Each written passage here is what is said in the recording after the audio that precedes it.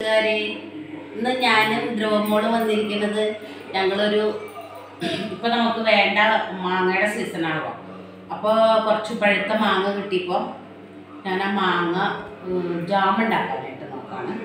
അപ്പം ഞാൻ എനിക്കൊരു പത്ത് മാങ്ങ കിട്ടി. അപ്പോൾ നാലെണ്ണം ബാക്കി എന്തെങ്കിലും കൊണ്ടുകളഞ്ഞ അരിഞ്ഞ് ഇതിലിട്ട്. അപ്പോൾ നമുക്കിതെല്ലാം കൂടെ കൂടി ജ്യൂസ് അടിച്ചെടുക്കണം ആദ്യം.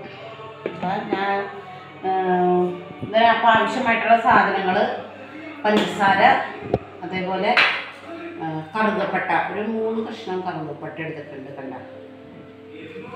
മൂന്ന് കഷ്ണം കറുകപ്പട്ട എടുത്ത് അതിലൊരു മൂന്നാൽ ഗ്രാമ്പു ചെറുനാരങ്ങ പഞ്ചസാര.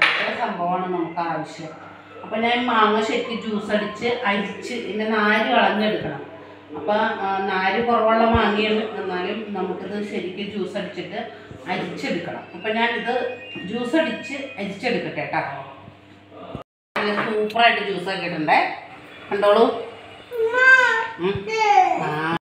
സൂപ്പറായിട്ട് ഞാൻ അരിച്ച് തരിയൊന്നും ഇല്ലാണ്ട് കട്ടൻ തരിയൊന്നും പാടില്ല. അപ്പോൾ സൂപ്പറാക്കി. ഞാൻ ഇതൊരു പാനിലേക്ക് ഒഴിക്കുകയാണേ.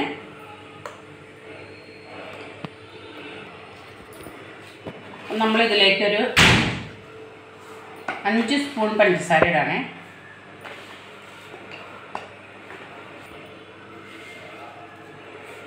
അഞ്ച് സ്പൂൺ പഞ്ചസാര ഇട്ടു അപ്പോൾ ഞാൻ രണ്ട് സ്പൂൺ പഞ്ചസാര ഇട്ട് അടിച്ചാണ് ജ്യൂസ് ഉണ്ടാക്കിയത് ഇപ്പോൾ ഞാൻ അഞ്ച് സ്പൂൺ പഞ്ചസാരയും കൂടെ കൂടി ഇട്ടിട്ടുണ്ട്. അപ്പോൾ നമുക്ക് നല്ല മധുരമായിരിക്കും.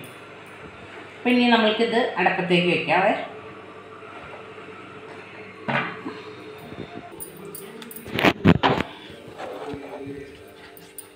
നമ്മളിതിന് മുമ്പ് ഒരു പൈനാപ്പിളിന്റെ ജാം ഉണ്ടാക്കിയിട്ടുണ്ടായി. എല്ലാവരും ട്രൈ ചെയ്തിട്ടുണ്ടാവും എന്ന് വിചാരിക്കുന്നു. പിന്നെ ആ. തീർന്നാ?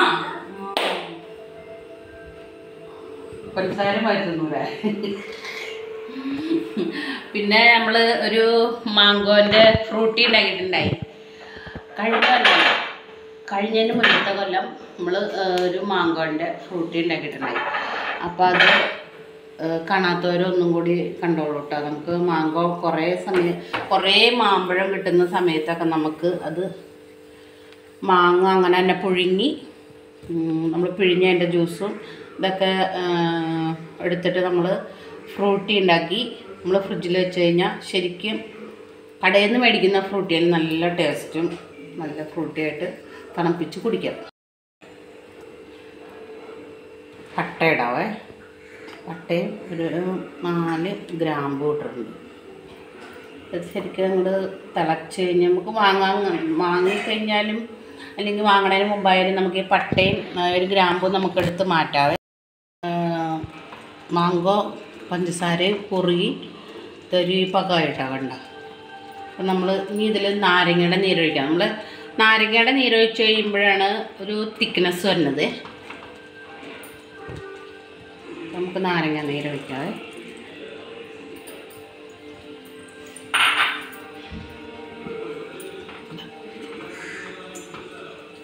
നാരങ്ങ നീര് ഒഴിച്ച് കഴിഞ്ഞാൽ പിന്നെ അത് ഒറ്റ ഒന്ന് ചൂടായി ഒന്ന് തിളച്ചാൽ മതി.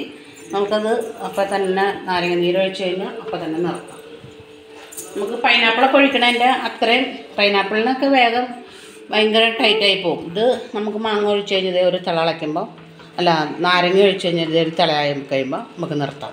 ഗ്യാസ് നിർത്താവേ. വാങ്ങി വയ്ക്കും നമ്മളുടെ മാങ്കോ ജാമ് സൂപ്പറായിട്ട് നല്ല അടിപൊളിയായിട്ട് റെഡി ആയിട്ടുണ്ട്. നല്ല ടേസ്റ്റിയാണ് കേട്ടോ നമ്മൾ വിചാരിക്കണതിൽ നല്ല ടേസ്റ്റാണ് നമ്മൾ ബ്രെഡിനൊക്കെ പരട്ടി കഴിക്കാം.